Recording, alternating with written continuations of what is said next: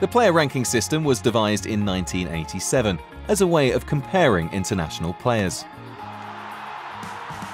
Averages in their most basic form take no account of the circumstances of the match or the opposition, and they also don't reflect a player's current or recent form, so the rankings set out to change that.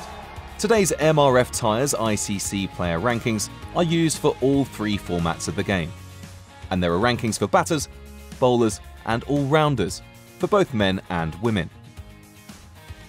All international cricketers are rated on a scale from 0 to 1000 points, for both batting and bowling.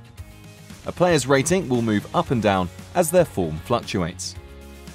After every match, a player's performance is assessed. Let's look first at how they work for a test match.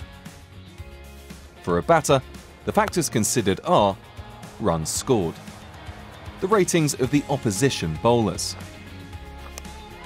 and the level of run scoring in the match. 100 runs in a low scoring innings gets more credit than 100 in a high scoring innings.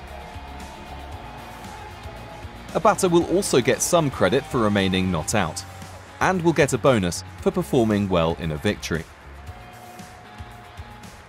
Bowlers, meanwhile, are assessed not only on how many wickets they take and runs they concede, but also on the rating of the batter being dismissed, the level of run scoring in the match, their workload.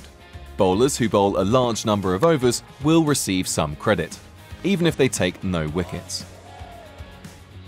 Bowlers who perform well in victories also get a bonus. After each match, a player's new rating is calculated. In limited overs cricket, so for the MRF Tyres ODI and T20I player rankings, the principles behind the rankings are similar, but there are some important differences. Batters gain significant credit for scoring runs quickly. 50 runs off 25 balls earns more credit than 50 off 100 balls. For bowlers, it's not just taking wickets that matters. Economy is important too, especially in Twenty20 cricket, where a bowler would get more credit for bowling 4 overs 0 for 10 than for bowling figures of 4 overs 2 for 40.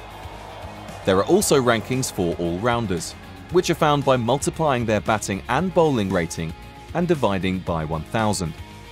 A ranking of 200 points is generally a sign that a player is a genuine all-rounder, and 500 points is exceptional. Players who miss matches lose some of their points. Player rankings are continually changing and are updated after every international match.